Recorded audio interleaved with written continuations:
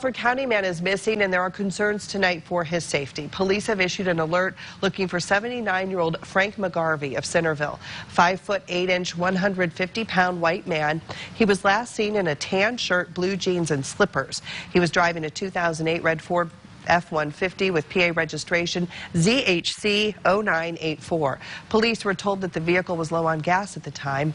Anyone with information is asked to call the Corry Barracks of the State Police at 814-663-2043.